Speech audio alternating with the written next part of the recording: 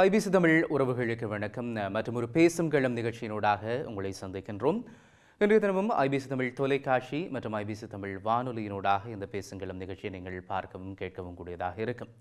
அண்மை காலமாக தமிழர்களை பொறுத்த வரைக்கும் அதுவும் குறிப்பாக தாயகத்திலும் சரி புலம்பெயர் தேசங்களிலும் சரி இருக்கக்கூடிய தமிழர்கள் ஒட்டுமொத்தமாக தமிழினத்தினுடைய ஒரு மிகப்பெரிய தியாகத்தின் உச்சத்தை தொட்டிருக்கும் தியாகி திலீபனுடைய அந்த நினைவு காலத்தினை அனுஷ்டித்துக் கொண்டிருக்கக்கூடிய காலகட்டம் இது. இதிலே தாங்கள் வாழக்கூடிய ஒவ்வொரு இடத்திலும் ஏதோ ஒரு வகையிலே தன்னுடைய இனத்துக்காக இந்த தியாகத்தை செய்திருக்கக்கூடிய அந்த சகோதரனை அல்லது தங்களுடைய ஒரு முன்மாதிரியை ஒட்டுமொத்தமான தமிழினமும் பூஜித்து கொண்டும் அனுஷ்டித்துக் கொண்டும் இருக்கிற நேரத்தில் அவருடைய நினைவு தூபி இருக்கக்கூடிய பகுதிகளில் கடந்த காலங்களிலும் வணக்க நிகழ்வுகளும் அதற்கான நினைவேந்தல் நிகழ்வுகளும் இடம்பெறுவது வழமை.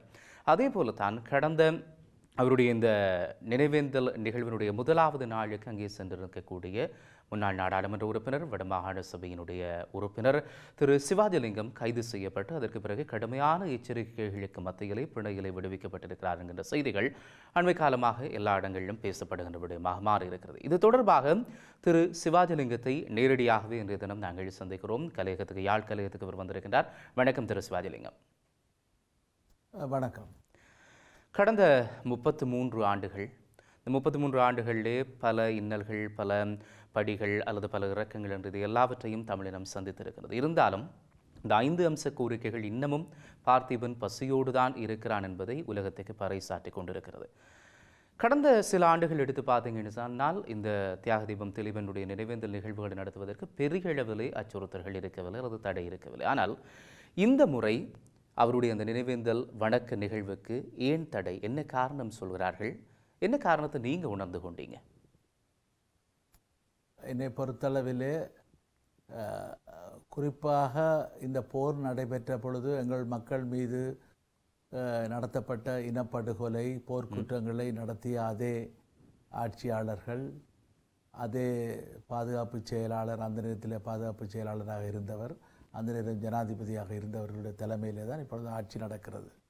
ஜனாதிபதி கோத்தபாய ராஜபக்ச பிரதமர் மஹிந்த ராஜபக்ச தலைமையிலான ஆட்சி வந்து அவர்களுடைய அணுகுமுறை அவர்கள் சிங்கள பௌத்த தே பௌத்த இன இன வெறியான ஒரு நிகழ்ச்சி நிரலை சிங்கள பௌத்த நிகழ்ச்சி நிரலை சிங்கள பௌத்த வாக்குகளினால் தான் நாங்கள் வெற்றி பெற்றோம். அதை மூன்றில் ரெண்டு பங்கு பாராளுமன்றத்திலே பெற்றிருக்கிறோம் என்ற அந்த மமதை அதிகார திமிரின் உச்சத்திலே நின்று கொண்டுதான் இந்த நடவடிக்கைகளிலே அவர்கள் ஈடுபடுகிறார்கள் ஈடுபட்டிருக்கிறார்கள்.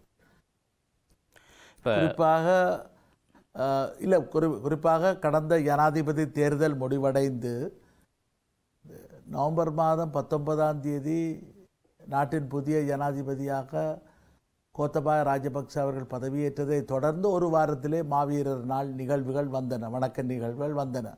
ஆனால் அதற்கு அவர்கள் ஒரு வார காரிப்பு குறைவென்றோ இல்லை என்ன காரணத்தாலோ அவர்கள் பெரிய அளவிலே தடைகளை ஏற்படுத்த முன்படவில்லை ஆனால் இந்த இந்த ஆண்டு நடைபெற்ற தமிழின படுகொலை நாள் அல்லது தமிழின படுகொலை வாரம் அந்த மே மாதம் பதினெட்டாம் தேதி முள்ளிவாய்க்கால் தினத்தை அந்த அனுஷ்டிக்க விடாமல் பல்வேறு விதமான தடைகள் ஏற்படுத்தப்பட்டதை நீங்களும் நாங்களும் எல்லோரும் ஊடகங்கள் வாயிலாக பார்த்திருப்பார்கள். அவர்கள் அதிலே அவர்கள் கண்ட ருசி அது தொடர்ந்து பல நிகழ்வுகளுக்கு அவர்கள் தடைகளை விதித்தார்கள். நாங்கள் அடங்க அடங்க அவர்களுடைய அதிகாரம் அல்லது அவர்களுடைய அந்த அடக்குமுறை அதிகரிக்கிறது. அடங்க மறு என்பதுதான் முதலாவது விடயம். புரட்சிக்கான முதலாவது விடயம்.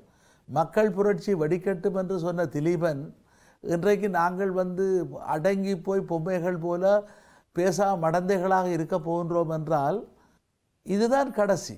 இனிமேல் இனிமேல் மாவீரர் நாளை இலங்கையில் தீவிலே எங்கும் அனுஷ்டிக்க முடியாத ஒரு நெருக்கடியை அவர்கள் ஏற்படுத்துவார் ஏற்படுத்தக்கூடும். ஏற்படுத்துவார் என்று நான் சொன்னால் இவர் யார் இப்படி சொல்கிறான்னு சொல்லி ஏற்படுத்தக்கூடும்.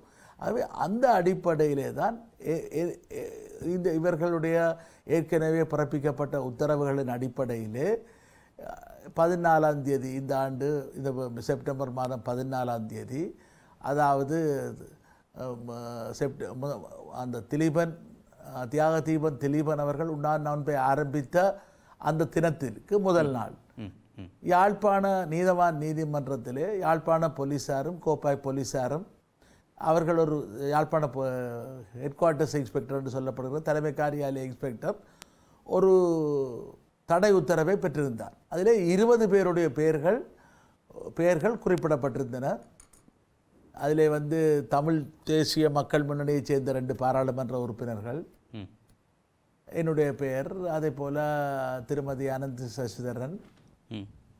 அதே போல் வேறு பல இலங்கை தமிழரசு கட்சியினுடைய யாழ் மாவட்ட வாலிப முன்னணியினுடைய தலைவர் போன்ற ஒரு சிலருடைய பெயர்களும் உள்ளடக்கியப்பட்டதாக பல மாகாண மாந மாநகர சபை உறுப்பினர்கள் இவ்வாறு செய்யப்பட்டு இருபது பேருடைய அதே போல் கட்டாயமாக காணாமல் போய் செய்யப்பட்ட தலைவிகள் அவ்- அவ்வாறெல்லாம் போட்டு இருபது பேருடைய உத்தரவை பிறப்பித்ததாக சொல்லப்படுகிறது.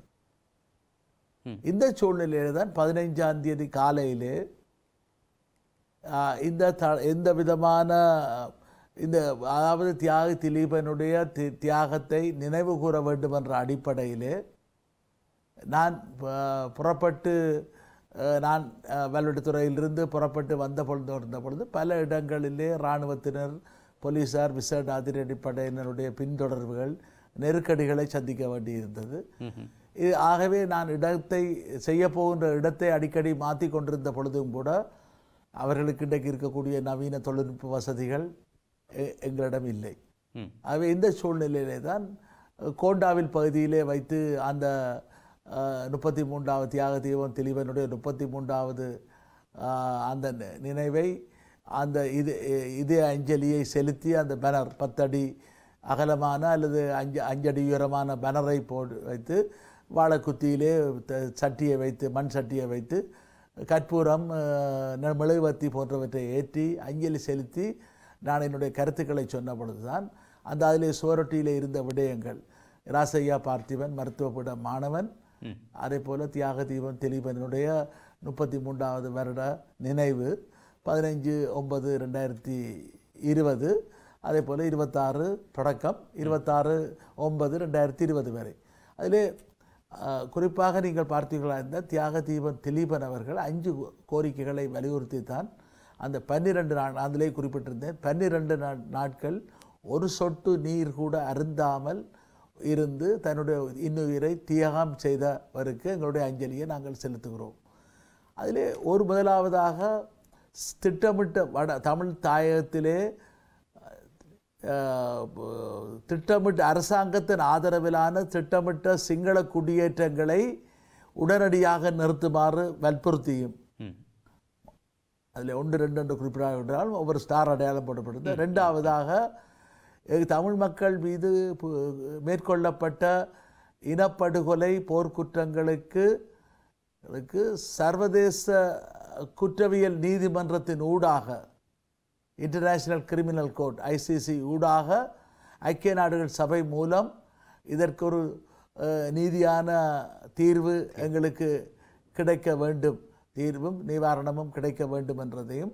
அதே போல இன்னொரு இன்னொரு விடயம் தமிழ் அரசியல் கைதிகளுடைய விடுதலையை வலியுறுத்து வலியுறுத்தியும் தமிழ் மக்களுக்கு சொந்தமான நிலங்களை நிலங்களிலே இருக்கக்கூடிய அரச படையினர் படையினர் உடனடியாக வெளியேறி அந்த காணிகளை வ- அந்த காணிகளிலிருந்து வெளியேற வேண்டும் வற்புறுத்தியும் வற்புறுத்தியும். இன்னொரு விடயம் கட்டாயமாக காணாமல் போய் செய்யப்பட்டவர்களுடைய அவர்களுக்கு நீதி வழங்கும் மூலமாக சர்வதேச ரீதியிலான விசாரணைகள் மூலமும் உண்மை கண்டறியப்படுவதன் மூலமும் அந்த பிரச்சனைக்கு ஒரு பதிலை ஒரு முடிவை காண வேண்டும் என்பதை வலியுறுத்தியும். அஞ்சு அஞ்சாவது அஞ்சு ஒன்று ரெண்டு அஞ்சு ரெண்டு குறிப்பிடாவிட்டாலும் ஸ்டார் அடையாளம் போட்டு வடக்கு கிழக்கு மாகாணங்களிலே தமிழ் மக்களுடைய அரசியல் அபிலாசைகளை தெரிந்து கொள்வதற்காக சர்வதேச நாடுகள் ஒரு பொதுசன வாக்கெடுப்பை ஒரு சர்வஜன வாக்கெடுப்பை ரெஃபரண்டத்தை நடத்த வேண்டும் என்று வலியுறுத்தியும் தியாகி திலீபனுக்கு அஞ்சலி செலுத்துகிறோம். முதலே குறிப்பாக நாங்கள் சுவரொட்டியில் எல்லாவற்றையும் சொல்ல முடியாவிட்டாலும் கூட அந்த பதாகையிலே ஒரு ஐசிசி இன்டர்நேஷனல் கிரிமினல் கோர்ட் மூலம் ஒரு விடயம் தெளிவாக படுமாக இருந்தால் இருந்தால் சொல்வார்கள் அதிலே பரிகார நீதி கிடைக்கும். ரெமடியஸ் ஜஸ்டிஸ் என்று சொல்வார்கள். அந்த அதுதான் அந்த பரிகார நிதி தான் அந்த வாக்கெடுப்பு நடப்பது என்று சில பேர் கேட்கலாம் வாக்கெடுப்பு நீங்கள் கேட்டால் போல செய்வார்களா என்று. கிழக்கு தீமோரில் நடைபெற்றிருக்கிறது ஈஸ்ட் தீமோரில் கிழக்கு தீமோர் ஈஸ்ட் தீமோர். அதே போல் சவுத் சூடான் தென் சூடானிலே நடைபெற்றிருக்கு. இவ்வாறு உலகத்திலே எத்தனையோ உதாரணங்கள் இருக்கின்றன. ஆகவே அதை நாங்கள் கேட்க வேண்டும். இல்லை சிலர் நினைப்பதைப் போல நீங்கள் கேட்டால் செய்வார்களா என்றால் நீங்கள் பார்த்திருப்பீர்களா இந்த தமிழ் தேசிய கூட்டமைப்பில் இருக்கக்கூடிய ஊடக பேச்சாளர் சுமந்திரன் இனப்படுகொலையை சொல்ல முடியாது என்று சொன்னவர்.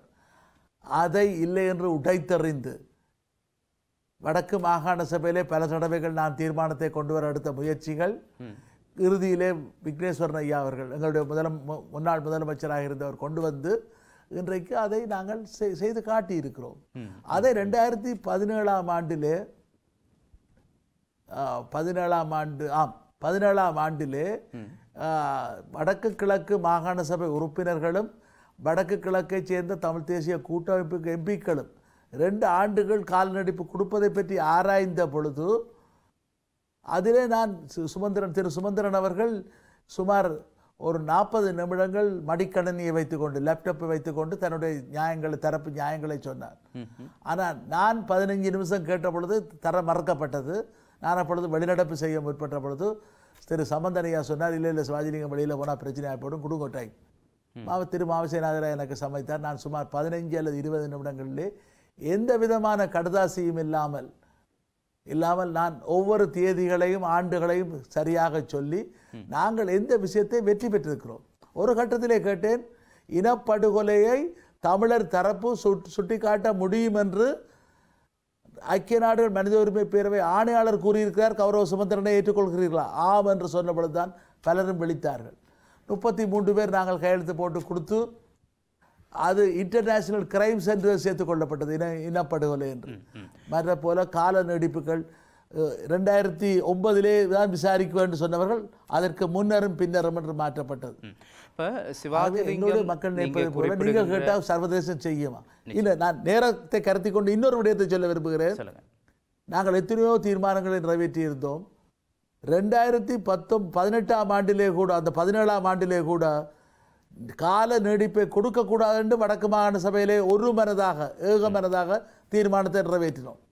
அது அன்றைக்கு எனக்கு நல்ல ஞாபகம் இருக்கிறது செப்டம்பர் மாதம் பதினோராம் தேதி உலகத்திலே ஒரு தாக்குதல் அமெரிக்காவிலே நடைபெற்ற தினம். அதை விட நான் இன்னொரு விடயத்தை சொல்லி முடிக்க விரும்புகிறேன் அதிலே இன்னொரு நாங்கள் இன்னும் அந்த அந்த தீர்மானத்திலே ஒரு வகையாக பொருளாதார அதாவது இல- இல- இலங்கை இராணுவத்துக்கு எதிராக தடைகளை நீங்கள் விதிக்க வேண்டும். உயர் இந்த போர்க்குற்றங்களிலே ஈடுபட்டவர்கள் பிரயாண தடையை விதிக்க வேண்டும் என்ற தீர்மானத்தை நாங்கள் நிறைவேற்றியிருந்தோம். அதன் பின்னர் ஒரு நாள் திரு சுமந்திரன் என்னை கேட்டார் அண்ணன் நீங்கள் தீர்மானம் நிறைவேற்றினா போல நடக்குமா? என்று. இப்பொழுது என்ன நடந்திருக்கிறது? இந்த ஆண்டிலே அமெரிக்கா பிரயாண தடையை கொண்டு வந்திருக்கிறது. நான் அதற்கு பிறகு எனக்கு சுதந்திரனோடு நேருக்கு நேரு பேசக்கூடிய சந்தர்ப்பம் பெறவில்லை கேட்டிருப்பேன். அப்படி என்றால் நீங்கள் கேட்டீர்களே. இப்பொழுது நாங்கள் நாங்கள் கேட்ட இன்னும் நடந்து விட்டது தானே.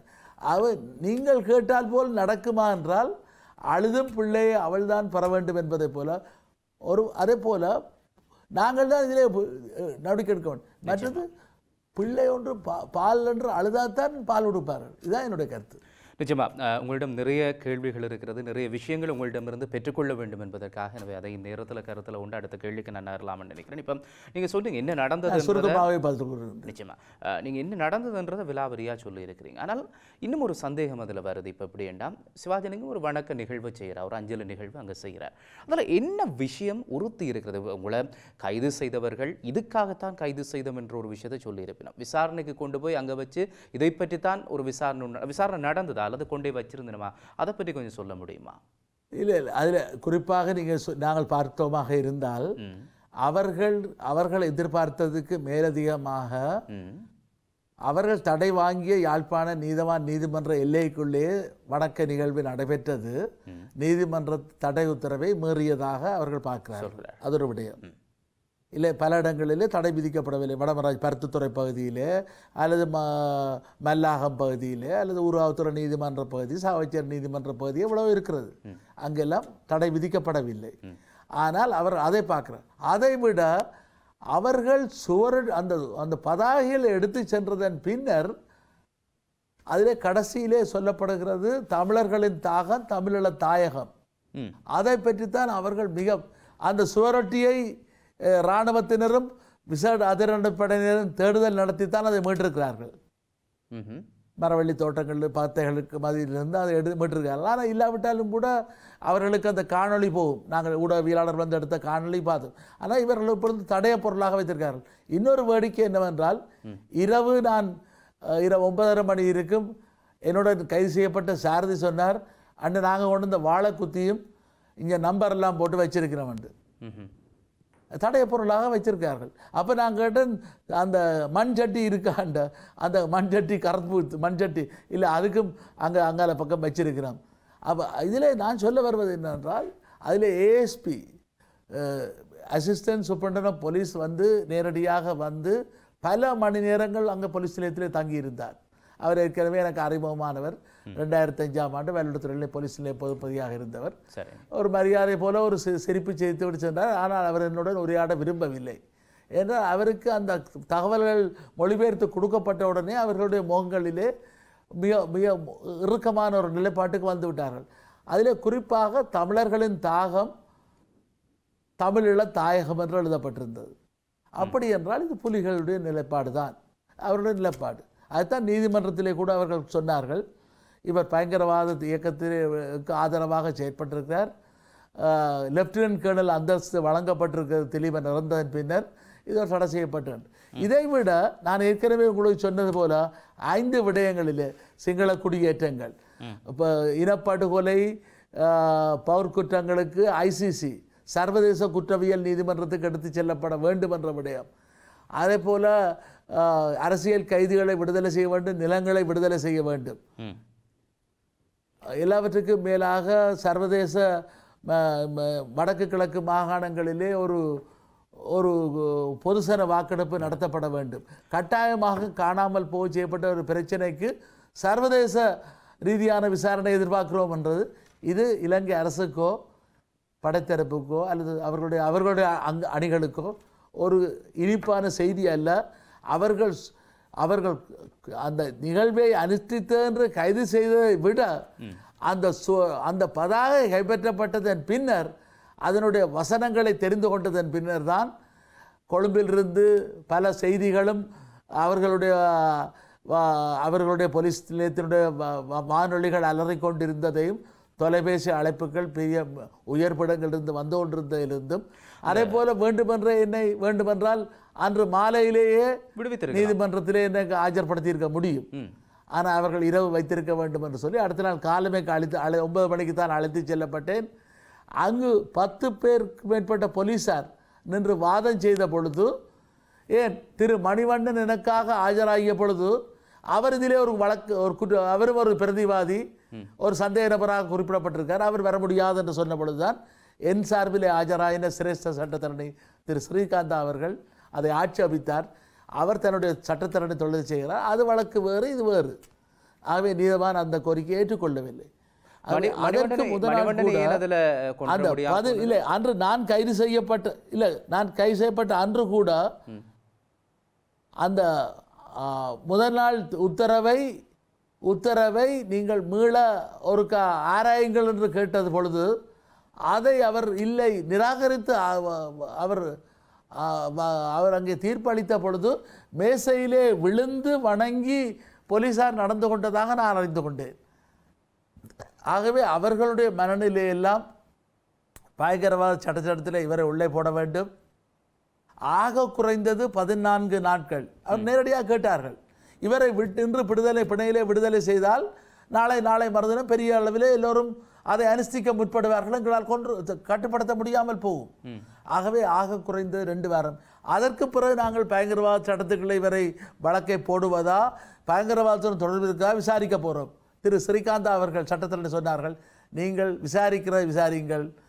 வழக்க போடுறோண்டா போடுங்கள். நாங்கள் எதையும் சந்திக்க தயாராக இருக்கிறோம். ஆனால் இந்த வழக்கிலே நீதிமன்றம் அவமதிப்பு என்ற ஒரு விடயம் வந்திருக்கிறது. அது இவர் திரு சிவாஜிலிங்கத்துக்கு நீங்க தெரிவிக்கவில்லை.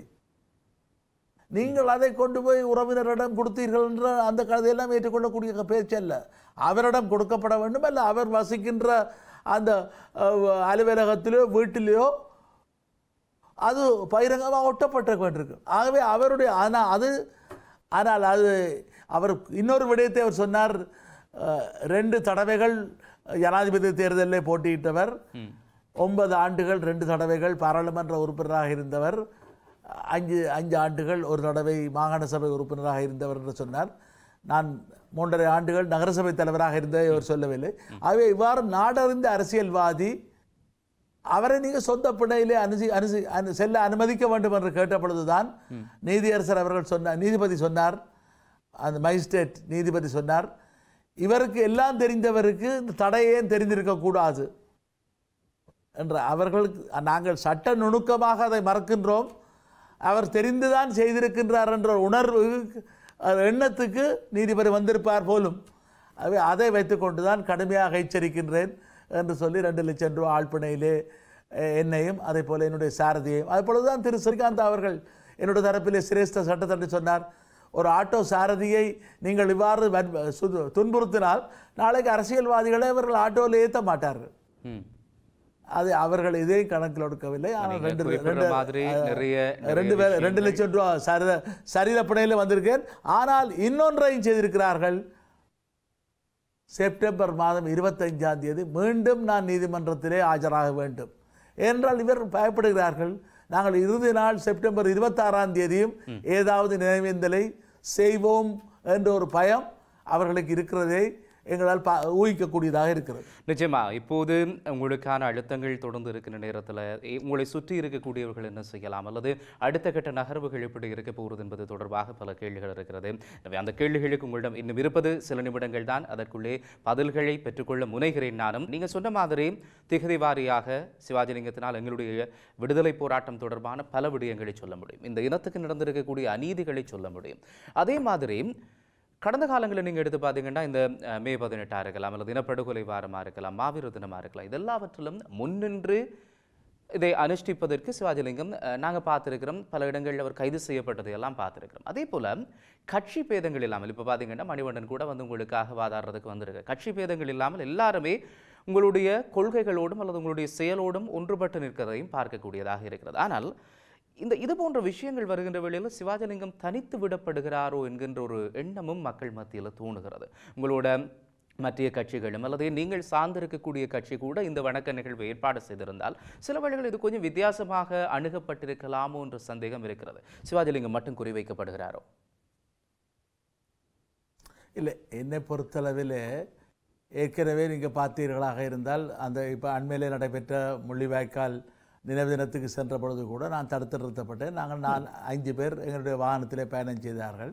அதே போல் எங்களுடைய முன்னாள் முதலமைச்சர் விக்னேஸ்வரன் ஐயாவும் தடுத்து வைக்கப்பட்டிருந்தார் திருப்பி அனுப்பி பொழுது தான் நான் வந்து அதிலே செம்மணியிலே நீதிமன்ற கட்டளை இருக்கின்றன்னு சொன்ன பொழுது கூட நீங்கள் உங்களோட கட்டளை வச்சுக்கொள்ளுங்கன்னு சொல்லிட்டு நான் அது தீபம் ஏற்றி அஞ்சலியை செலுத்தினேன். ஆகவே நாங்கள் ஒரு முள்ளிவாய்க்காலில் போய் எங்களுக்கு அஞ்சலி செலுத்த முடியாவிட்டாலும் கூட அவர்களுக்கு எதிர்ப்பை காட்டுகின்ற பொழுது அது அவர்களுக்கு ஒரு பிரச்சனையாக வலிக்கும். இதே போல நாங்கள் பார்த்தீங்களா இருந்தால் பாராளுமன்ற பொதுத் தேர்தலை தொடர்ந்து கௌரவ விக்னேஸ்வரன் ஐயாவுடன் நான் தான் அந்த வேண்டுகோளை வைத்தேன். ஐயா இந்த இந்த இறந்து கொல்லப்பட்ட ஒரு லட்சத்துக்கு மேற்பட்ட மக்கள் இந்த படுகொலை நடைபெற்ற அந்த ஒரு மைய புள்ளி. முள்ளிவாய்க்கால். அங்கே போய் நாங்கள் அஞ்சலி செலுத்தி விட்டுத்தான் நீங்கள் பாராளுமன்றத்திலே சென்று பதவி ஏற்பதுதான். பொருத்தமாக இருக்கும். ஏனென்றால் நாங்கள் எங்களுடைய மனதிலே நாங்கள் இதை வைத்துக்கொண்டு தான் செயற்பட அ- தெளிவான மக்களுக்கு அது- நான் சொல்ல விரும்புகிறேன். அது அதை அதை அதே செய்தது மாதிரி நீங்கள் பார்க்கிறீர்கள் என்றால் அதுக்கு பிறகு பார்த்தீர்களாக இருந்தால் எங்களுடைய எங்கள் என்னுடைய கட்சி என்று சொன்னவுடன் கூட கட்சியில் இருக்கக்கூடிய எல்லாருமே இதை ஒரு எல்லாத்தையும் உடைத்து கொண்டு துணிஞ்சு வருவார்கள் என்று அல்ல இவர்கள் விமர்சனம் ஏன் கு- முன்னர் கு- சொன்னார்களா? பின்னர் கூட்டார்களா? எல்லாருடன் கலந்து ஆலோசித்தீர்களா? மத்திய குழுவை கூட்டினீர்களா என்று கேட்க எடுக்க எடுக்கப்பட்ட காரணத்தால் தான். நீங்கள் பார்த்தீங்கன்னா அன்றைக்கு நீங்கள் பார்த்தீங்க ஆகஸ்ட் மாதம் பதினாலாம் தேதி செஞ்சோல படுகொலை. ம். பாராளுமன்ற உறுப்பினர் திரு செல்வம் அடைக்கிறான் உட்பட எல்லோரும் அவர்கள் காரண வழியிலே சென்ற பொழுது நான் இல்லை. அந்த தடையை மீறி நான் அந்த இடத்துல செய்து காட்டினேன். அப்பொழுது அவர் வந்து போலீஸிலே உய போலீஸ் உயர் அதிகாரி போலீஸ் போலீஸிலே பொறுப்பு என்ன தலைமை காரியாலய இன்ஸ்பெக்டர் என்னிடம் சொன்னார் நீங்கள் ஒரு வேட்பாளராக போட்டியிட்டு இருக்கிறீர்கள் தேர்தல் முடிந்து ரெண்டு வாரத்துக்கு இவ்வாறான பொது நிகழ்ச்சிகளை நீங்கள் நடத்த முடியாது சட்டத்துக்கு முரணானது. நான் கேட்டேன் என்னுடைய உறவினர் செத்தா ரெண்டு நிலைமைக்கு செத்த விடும் செய்கிறாதோ இது ஐம்பத்தி நாலு பிள்ளைகள் செத்த செத்த விட நான் செத்த விட செய்கிறேன். நீங்கள் என்னென்ன செய்யுங்க. ஆகவே இதை போல சில நடவடிக்கைகள் பத்து பேர் இருபது பேரை சேர்த்து செய்கிறதிலே எனக்கு இருக்கக்கூடிய பிரச்சனை நான் போய் எனக்கு பைத்தியக்காரனை போய் நான் தனியாக செய்யணும்னு ஆசைப்படுறேன்ட்டு அல்ல. ஐநூறு பேர் ஆயிரம் பேரோட செய்தால் அது நல்ல. தனிமரம் தோப்பாகாது. ஆனால் ஒன்றுமே நடக்காமல் விட்டதை விட நாங்கள் நாலு பேராவது சேர்ந்து இதை செய்தோம் என்பதிலே எனக்கு ஒரு மனநிறைவு இருக்கிறது. இல்லை நாளைக்கு எங்களுடைய கட்சி கூட்டம் நடைபெறும் பொழுது கூட கட்சியினுடைய அனுமதி இல்லாமல் செய்தார் இல்லை என்ற விமர்சனங்களும் வரும் கேள்விகள் வரும். நாளைய தினம் மத்திய குழு கூட்டத்துக்கு ஒழுங்கு பண்ணப்பட்டிருந்தது ஆனால் இப்போ மத்திய குழு கூட்டம் பின்போடப்பட்டிருக்கு என்ற நாளைய தினம் இந்த ஜனாதிபதி பிரதமருக்கு ஒன்பது கட்சிகள் இன்றைக்கு இணைந்து கூடியிருக்கோம். அது சம்பந்தமான கடிதம் எழுதுவதற்கா? ஆகவே நாங்கள் எங்களை பொறுத்தளவிலே இது போராட்ட காலம் போல அதிரடியாக திடுதிடுப்பு என்று செய்ய வேண்டிய ஒரு ஆனால் எங்களுக்கு வள பிரச்சனைகளை நாங்கள் புரிந்து கொள்ள வேண்டும். எங்களுடைய வாகனம் வாகனத்தை ஓட்டுவதற்கு ஓட்டுநர்கள் வரமாட்டார்கள். பயப்படுகிறார்கள். அப்போ இதை வைத்துக்கொண்டு தான் இந்த நிலைமையோடைய இது நான் ஒருவர் ரெண்டு பேர் போய் செய்து படம் காட்டணும் என்ற தேவை எனக்கு இல்லை. ராஜபக்ச ஆட்சி இருக்கின்ற பொழுது மாவீரர் நாளையும் அதே போல் முள்ளிவாய்க்கால் தினத்தையும் நான் அனுசரித்த பொழுது எவ்வாறு நான் தாக்கப்பட்டேன் அல்லது காலால் தீபங்கள் மிதிக்கப்பட்டதை மக்கள் பார்த்திருக்காங்க ஆகவே என்னை பொறுத்தளவிலே இது ஒன்று அல்ல ஐநூறு ஆயிரமாக மாறுகின்ற பொழுது இவரால் தடுக்க முடியாது. அது அதுதான் என்னுடைய அடுத்த கேள்வி. இப்போ நீங்க சொல்ற மாதிரி சிவாஜி என்கின்ற இந்த மனிதருக்குள்ள ஒரு தமிழின உணர்வாளனுக்கு ஒரு தமிழனுக்குள்ள இருக்கக்கூடிய உணர்வு புலத்திலும் சரி தாயத்திலும் சரி இருக்கக்கூடிய நிறைய பேருக்குள்ள உணர்வு என்பது இருக்கும். ஆனால் அதை வெளிப்படுத்துகின்ற விதம் தான் இங்கு கவனிக்கப்பட வேண்டும் இப்போ நீங்க தனி ஒரு மனிதராக போய் அதை வெளிப்படுத்துகின்ற வேளையில் அது கவனிக்கப்படுவதும் ஏற்படுத்தப்படக்கூடிய அதிர்வும் என்பதை தாண்டி இருக்கிற ஒவ்வொரு தமிழனும் சிவாஜியாக மாறினால் அதனுடைய அதிர்வு வித்தியாசமாக இருக்கும். ஒரு நீண்ட கால விடுதலை பயணத்தில் இருந்து ஒருவராக உங்களுடைய உணர்வு அந்த நான் சிவாஜி என்று குறிப்பிடுகின்றது உங்களுடைய உணர்வு அந்த உணர்வினுடைய வெளிப்பாடு ஒவ்வொருவரும் சிவாஜியாக மாறுவதற்கு என்ன செய்யலாம் ஐயா?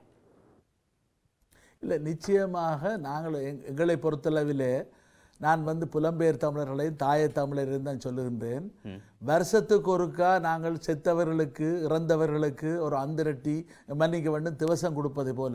அல்ல கிறிஸ்தவர்கள் கத்தோலிக்கர்கள் என்றால் அந்த ஆண்டு நினைவு தினத்தை ஒரு பூசையை கொடுத்து தேவாலயத்திலே செய்வது போல அல்லாமல் நாங்கள் அதிலே விறு- ஒரு விடயத்தை இறுக்கமாக செய்ய வேண்டும். நீங்கள் அதை செய்துவிட்டு வீட்டில் போய் படுத்திருந்தால் சரி அடுத்த வருஷம் வந்தால் சரி என்றல்ல. அது செய்கிறது செய்யாமல் எத்தனை பேர் இருக்கிறார்கள் செய்ய வருவதை நான் பாராட்டுகிறேன். எவ்வளோ பொருட்செலவிலே எவ்வளோ பயணத்தடைகளை த ஒரு ப- பயணத்தடையில் அவர்கள் பயணம் செய்து அவர்கள் நேரத்தை ஒதுக்கி செய்கிறார்கள். அதுபோலத்தான் இவ்வாறான நினைவேந்தல் நிகழ்வுகளை அதே போல் இங்கு பாதிக்கப்பட்டவர்களுக்கு நீங்கள் உங்களுடைய நாட்டு நாணயத்திலே ஒரு பத்து அல்லது இருபது அது ப- இருக்கலாம் யூரோவாக இருக்கலாம் டொலராக இருக்கலாம். அனுப்பி பங்காளர்களாக மாறாத வரை எங்களுக்கு இங்கே தமிழ் தேசம் இங்கே விடுதலை செய்யப்பட போவதும் இல்லை. எங்களுக்கு அரசியல் விடுதலையும் கிடைக்கப் போவதில்லை. ஆனால் இப்போ உங்களை மாதிரி ஒரு அரசியல்வாதியே தாயத்தில் உங்களை மாதிரி ஒரு அரசியல்வாதியே கைது செய்யப்படுகின்ற வேளையில் சாதாரண குடிமக்கள் உங்களுக்கு பின்னால திரளிக்குள் அவர்களுக்கும் ஆபத்து இருக்கு இல்லையா? இல்லை அப்படி என்று பார்த்தால் இந்த போராட்டத்துக்கு தங்களுடைய இன்னுயிர்களை தியாகம் செய்வதற்கு. தியாகி திலீபன் பன்னிரண்டு நாட்கள் ஒரு சொட்டு நீரும் அருந்தாமல் தியாகம் செய்தானே அந்த தியாகத்தை எவ்வாறு பார்க்கிறீர்கள்? ஒவ்வொருவரும் தன்னுடைய கரம்புலியும். அது ஆணாக இருக்கலாம் பெண்ணாக இருக்கலாம். அவர்கள் வெடித்து சிதறுகின்ற பொழுது தமிழ் த புலிகளின் தாகம் தமிழில் தாயகம் என்று தானே வெடித்து சிதறினார்கள். போராட்டத்திலே ஐம்பதினாயிரத்துக்கு மேற்பட்ட மாவீரர்களும் வீரமறவர்களும் தங்களுடைய இன்னுயிர்களை இழந்தார்களே. ஒரு லட்சத்துக்கு மேற்பட்ட மக்கள் கொல்லப்பட்டு தங்களுடைய இன்னுயிர்களை அவர்கள் இழந்தார்களே. அவ்வாறு செய்கின்ற பொழுது அப்போ அப்படி என்றால் ஐயோ எங்களுக்கெல்லாம் பாதுகாப்பு இல்லை நீங்கள் போராட்டத்தை நிறுத்தன்னு சொல்லியிருக்கணும் மக்கள். ஆனால் மக்கள் துன்பப்பட்டார்கள். பாதிக்கப்பட்டவர்களை விட மற்ற காயப்பட்டவர்கள் பொருளாதார ரீதியாக பாதிக்கப்பட்டவர்கள் மன ரீதியாக உள ரீதியாக லட்சக்கணக்கானவர்கள் இடம்பெயர்ந்து துன்பப்பட்டார்கள். நாட்டை விட்டு வெளியில் போகிறார்கள் ஆகவே ஆகவே இவர்கள் இவருக்கு பிரச்சனை எங்களுக்கு பிரச்சனை வரக்கூடாதுன்னு நினைத்தால் நான் கேட்க விரும்புகின்றேன். இன்றைக்கு பெரிய கவலைக்குரிய விடயம் யாழ்ப்பாண பல்கலைக்கழகத்தில் அரசிக்கப்படவில்லை நான் என்னை பொறுத்தளவிலே நான் அதுதான் ஒரு கேள்வி என்னுடைய கல்வியை இடைநிறுத்தி-. என்னுடைய கல்வியை இடைநிறுத்திய பெற்றோர் அரசியலிருந்து விலக வேண்டும் என்பதற்காக என்னை அரச உத்தியோகத்திலே சேர்த்து நான் நான்கு மாதங்களிலே வட்டுக்கோட்டை தீர்மானம் தனிநாட்டு தீர்மானத்தில் எடுத்த இருநூற்றி ஐம்பது பேரிலே ஒரு போராளி எனக்கு பத்தொன்பது வயது. அதைத் தொடர்ந்து ஆகஸ்ட் மாதம் தமிழ் தமிழர் விடுதலை கூட்டணி வடக்கு கிழக்கு மாகாணங்களிலே நீதிமன்றத்திலே நடத்திய சட்டமன்ற போராட்டம். அதாவது ஆறு மாத சிறை செல்ல தயாராக இருக்க வேண்டும். நீதிமன்ற நடவடிக்கைகளை உள்ளவே துண்டு பிரசுரத்தை கொடுத்து குழப்ப வேண்டும். ஆனால் வடமராட்சியிலே பத்து பன்னிரெண்டு பேர் தான் முன் வந்தோம் நான் ஒரு நீதிமான் நீதிமன்றத்துக்கு தலைமை தாங்கினேன்.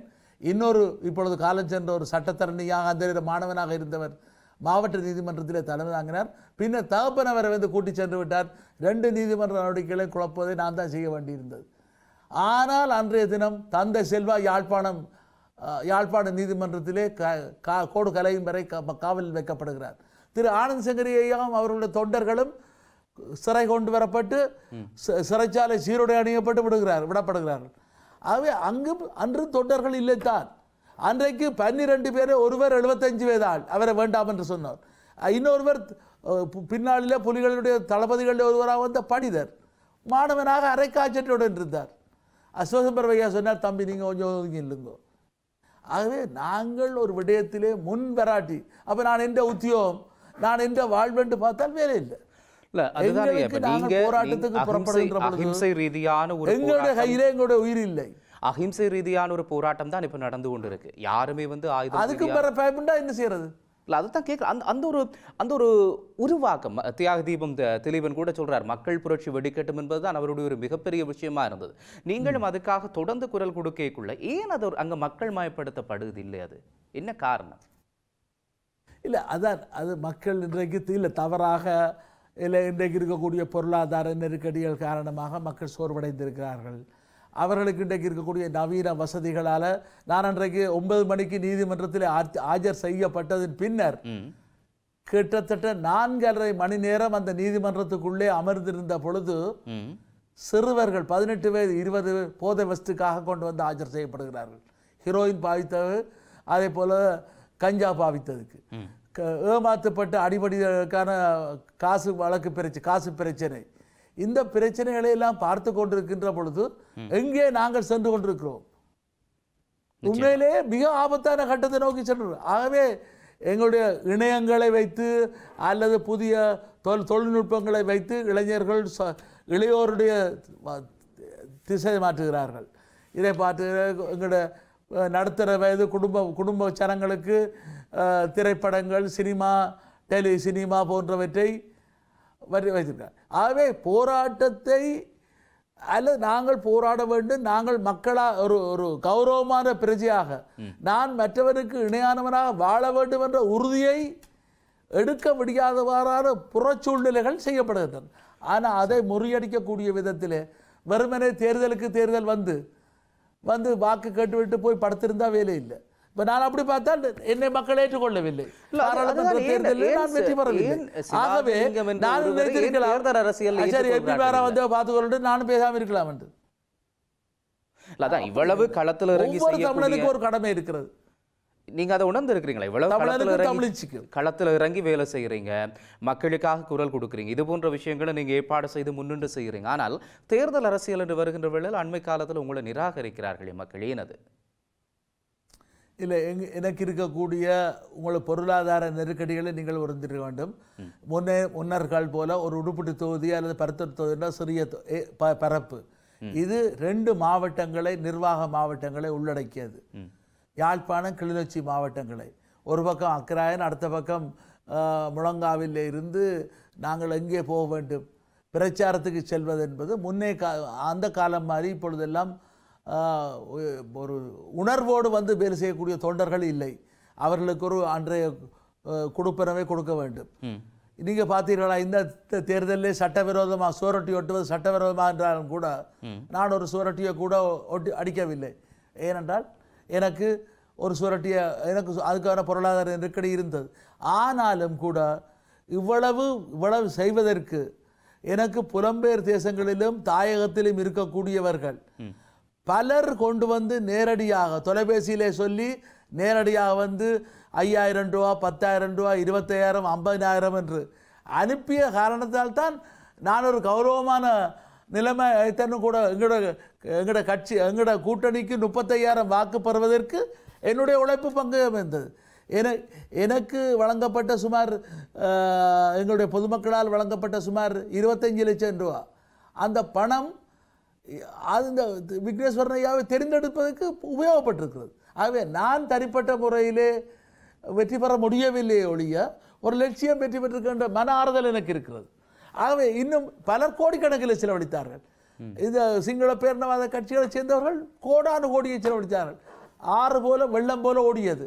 ஆனால் நாங்கள் சாதாரணமாக மிகவும் சிக்கனமாக முடிந்தளவு போயே உண்மையில் அது ஒரு கவலையான ஒரு விஷயம். ஒரு கொள்கையோடு லட்சியத்தோடு இருக்கக்கூடியவர்கள் கூட பணம் இருந்தால்தான் தேர்தல் அரசியலில் வெல்லலாம் என்றால் எங்களுடைய இனம் சிந்திக்க வேண்டிய ஒரு விஷயமும் கூட அது ஏனென்றால் இவ்வளவு காலமும் உரிமைக்காகவும் உணர்வுக்காகவும் மண்ணுக்காகவும் தான் எங்களுடைய தமிழினம் வாக்குகளை அளித்து வந்திருக்கிறது. அது தொடர வேண்டும் என்கின்ற ஒரு அவா அத்தனை தமிழர்களுக்கும் இருக்கும் என்று சொல்லி நினைக்கிறேன். அதனால் இப்போ நீங்கள் சொன்னீங்க தானே நீதிமன்ற கடந்த காலங்களிலே நான் பல இல்லை எனக்கு பல லட்சம் ரூபா நான் கடன் பட்டிருக்கிறேன் ஆனால் இந்த தடவை மிக சொற்ப தொகை தான் நான் சுமார் ஒரு பத்து லட்சத்துக்கு பத்து சுமார் பத்து லட்சம் அளவிலே தான் நான் கடன் பெற வேண்டியிருந்த மீதியை அவர்கள் தந்தார்கள். அது எனக்கு ஆறுதலை தருகிறது. அவர்கள் தேடி தருகிறார்கள். நான் கேட்காமலே தருகிறார்கள் என்றால் சிவாஜிலிங்கம் இனத்துக்காக மக்களுக்காக போராடுகின்றார் என்பதை அங்கீகரித்திருக்கிறார்கள். அவர்கள் அங்கே குளிரிலும் கஷ்டப்பட்டு இந்த இடத்துல இலங்கை எங்களுடைய மண்ணிலே வாழ்ந்து கொண்டிருக்கக்கூடியவர்கள் மிக கஷ்டப்பட்டவர்கள் உணர்ந்து தரப்பொழுது என்று கைகள் தடுமாறியது. நான் சொன்னேன் வேண்டாம். அண்ணன் உங்களுக்கு வேண்டாம்னா உங்களுக்கு கஷ்டம். இல்லை தம்பி வச்சுக்கொள். இந்த ஐயாயிரத்தை வச்சுக்கொள் பத்தாயிரத்தை வச்சுக்கொள். அப்பொழுது நான் நான் நினைத்தேன் நான் உண்மையிலே கஷ்டப்படுவதை மக்கள் ஏற்றுக்கொண்டிருக்கிறார்கள். ஆகவே மக்கள் முழு பேரும் பெரும்பாலானவர்கள் பிழைவிடுகின்றார்கள் எல்லாரையும் அப்படி சொல்ல முடியாது. ஆகவே புலம்பெயர் தேசங்களில் இருந்தாலும் சரி இங்கிருக்கக்கூடியவர்களும் உணர்வாளர்களும் இருந்து கொண்டிருக்கின்ற காரணத்தால் தான் இன்னமும் எங்களுடைய உரிமை போராட்டம் உயிர் வாழ்ந்து கொண்டிருக்கிறது நீங்கள் எதிர்பார்ப்பது போல நாங்கள் எதிர்பார்ப்பது போல அது இன்னும் வீச்சு பெற வேண்டும் முழு வீச்சு பெற வேண்டும் என்பதிலே எல்லோருடைய பங்களிப்பு தேவை. இப்போ நீங்கள் குறிப்பிட்ட மாதிரி இருபத்தைந்தாம் தேதி திருப்பி நீங்கள் போக வேண்டிய ஒரு சூழ்நிலை இருக்குது அதற்கு முதல் நாள் அவருடைய பன்னிரெண்டாவது நாளுக்கான முதல் நாள் நீங்கள் போக வேண்டிய சூழ்நிலை இருக்குது. அதனால் இந்த இடைப்பட்ட காலம் என்பது சிவாஜிலிங்கம் சில விடயங்களை மக்கள் மத்தியில் விதைப்பதற்கும் அல்லது மக்களுக்கான தெளிவுபடுத்தல்களை கொடுக்கக்கூடிய ஒரு காலமாக கூட இருக்கலாம். எனவே ஏற்கனவே கூட நீதிமன்ற அவமதிப்பு என்பது அங்கே வந்துவிடும் என்பது சிவாஜிலிங்கத்துக்கு தெரிந்திருக்கலாம். அல்லது அதற்கு மாற்றீடாக வேறொரு வணக்க முறையை அவர் கையில் எடுத்திருக்கலாம். அந்த அஞ்சலி முறையை கையில் எடுத்திருக்கலாம் என்கிற கருத்துக்கள் ஒரு புறம் இருந்தாலும் நீங்கள் சொன்ன மாதிரி மக்கள் உங்களை போன்ற அரசியல்வாதிகள் தான் மக்களுக்கான பாதையை காட்ட வேண்டும். உங்களை போன்ற அரசியல் கட்சிகள் தான் மக்களை ஒன்று திரட்ட வேண்டிய தேவை அங்கே இருக்கிறது. நீங்க சொன்னீங்களே அந்த கஞ்சாவோ அல்லது போதை வஸ்துக்கு அடிமையான சிறார்கள் அங்கே அல்லது இளைஞர்கள் அங்கே வந்தார்கள் என்றால் அவர்களை திருத்த வேண்டியதும் உங்களுடைய கரங்களில் இருக்கிறது என்கின்ற அடிப்படையில் இந்த கேள்வி வைக்கிறேன். அந்த மக்களுக்காக தன்னுடைய தியாகத்தை செய்திருக்கக்கூடிய ஒருவருடைய இந்த பன்னிரெண்டாவது நாள் நினைவேந்தல் நிகழ்வை ஏற்பாடு செய்வதற்கு அல்லது அந்த நினைவேந்தலை செய்வதற்கு சிவாஜிலிங்கம் தயாராக இருக்கிறாரா? அல்லது மக்கள் எப்படி அறிவுறுத்துகிறாருங்க. இல்லை என்னை பொறுத்தளவில் இன்றைய தினம் ஒன்பது கட்சிகள் இலங்கை தமிழரசு கட்சியினுடைய தலைவர் திரு மாவசேநாதராயனுடைய அழைப்பிலே தமிழ் தேசிய கூட்டமைப்பிலே இருக்கக்கூடிய மூன்று கட்சிகள் இலங்கை தமிழரசு கட்சி தமிழீழ விடுதலை கண்டெலோ தமிழீழ மக்கள் விடுதலை கழகம் புளொட் இதை விட எங்களுடைய தமிழ் மக்கள் தேசிய கூட்டணியிலே இருக்கக்கூடிய விக்னேஸ்வரன் ஐயாவினுடைய தமிழ் மக்கள் கூட்டணி அதே போல் நான் சார்ந்திருக்கக்கூடிய திரு ஸ்ரீகாந்தா தலைமையிலான தமிழ் தேசிய கட்சி நண்பர் சுரேஷ் பிரேமித்தனுடைய தலைமையிலான இபிஆர்ல ஈழ மக்கள் புரட்சியர விடுதலை முன்னணி திருமதி அனந்த் சசர் தலைமையிலான ஈழத்தமிழர் சுயாட்சி கழகம் ஆகிய நான்கு கட்சிகளும் நாங்கள் அதிலே பங்கு பெற்றிருந்தோம். மூன்று நாலும் ஏழு. இதே போல முன்னாள் முன்னாள் போராளிகளை கொண்ட ஜனநாயக போராளிகள் கட்சி. அதே போல திரு அங்கர்நேசன் தலைமையிலான தமிழ் தேசிய பசுமை இயக்கம். ஒன்பது அமைப்புகள் சேர்ந்து நாங்கள் நாளைய தினம் கூடி ஜனாதிபதிக்கும் பிரதமருக்கும் இந்த நினைவேந்தல்களை இறந்து போன போராளிகளுடைய நினைவேந்தல்களையும் பொதுமக்களுடைய நினைவேந்தல்களையும் செய்வதற்கு எந்த தடையும் விதிக்கக்கூடாது என்று நாங்கள் அவர்களுக்கு ஒரு கடிதத்தை எழுதுவதென்று தீர்மானித்திருக்கிறோம். ஆனால் நாங்கள் கடிதம் எழுதின உடனே அவர்கள் ஓமென்று சரி என்று சொல்வார்கள் என்று அல்ல. ஆனால் அவர்களுக்கு ஒரு காலத்தை கொடுப்போம். ஒரு மூன்று நாள் ஒரு அவகாசத்தை கொடுக்குறோம் என்று வைப்போம். கொடுத்ததன் பின்னர் அவர்கள் வரவில்லை என்றால் நாங்கள் ஜனநாயக ரீதியிலே எங்களுடைய எதிர்ப்பை காட்ட வேண்டி வரும் என்பதை நாங்கள் அதில் குறிப்பிடுவோம். அதில் என்ன முறை என்பதை என்ன தந்திரோபாயம் என்பதை அது வந்து ஒரு வேளை ஒரு கடையடைப்பாக இருக்கலாம். ஒரு ஒரு ஹர்த்தால்.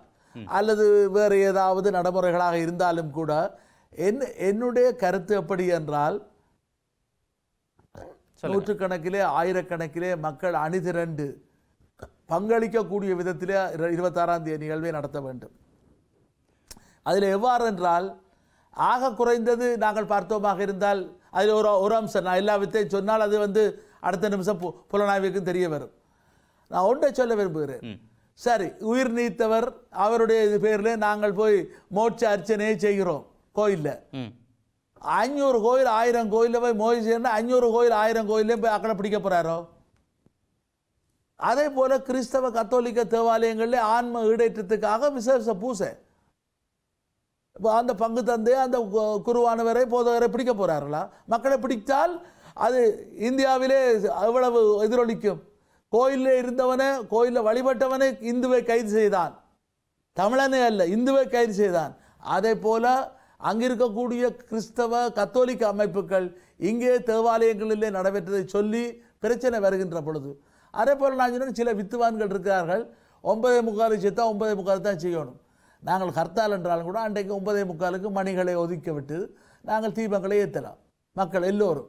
இல்லாவிட்டால் இரவு நேரம் கூட ஒரு ஆறரை மணிக்கு கார்த்திகை விளக்கீடு போல நாங்கள் எல்லோரும் ஏற்றினால் எங்கே எத்தனை பேரை பிடிக்க போயிடும் ஒரு ஐம்பது பேர் நூறு பேரை பிடி பிரச்சனை இல்லை. ஆனால் அவ்வாறு செய்தால்தான் தடைகளை உடைத்தெறிந்தால்தான்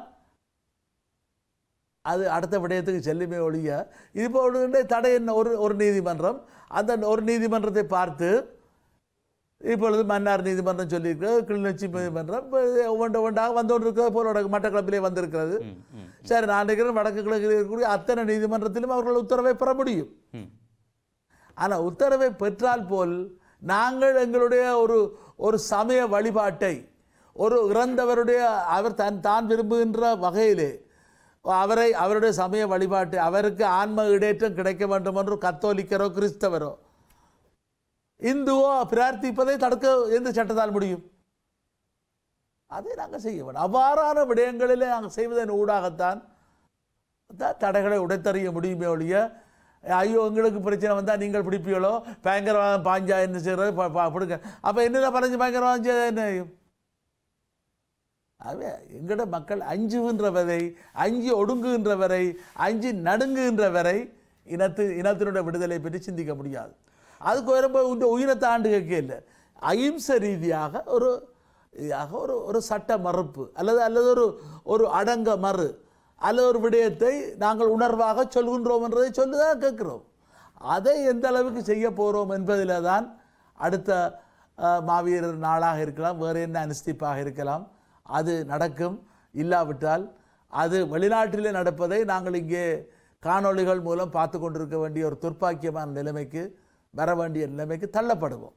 அதை வரவிடாமல் தடுக்கக்கூடிய வேலையை இந்த வாரத்திலே நாங்கள் செய்ய வேண்டும் என்பதுதான் என்னுடைய உறுதியான கருத்து. தாயகத்தில் இருந்து இவ்வளவு தெளிவான குரல் ஒன்று நீங்க கொடுக்குறீங்க. அந்த குரல் புலத்திலும் செவிசாய்க்கப்படும் அதற்கான சில நிகழ்வுகள் நடைபெறுகின்றன என்று நம்புகின்றேன். எனவே அந்த குரல் செவிசாய்க்கப்படும் என்கின்ற நம்பிக்கையோடு இன்றைய இந்த நிகழ்ச்சி பயனுள்ளதாக இருக்கும் என்கின்ற ஒரு நம்பிக்கையோடு இந்த நிகழ்ச்சியை நிறைவு செய்து கொள்ளலாம் என்று நம்புகின்றேன். நன்றி. திரு சிவாஜிலிங்கம் இவ்வளவு வேலைகளுக்கு மத்தியிலும் இன்றைய தினம் இங்கே இணைந்து கொண்டு எங்களுடைய கேள்விகளுக்கு பதிலளித்ததற்காக. நன்றி. வணக்கம். மீண்டும் இன்னும் ஒரு நிகழ்ச்சியினூடாக உங்களை நாங்கள் சந்திக்கலாம். நன்றி. வணக்கம்.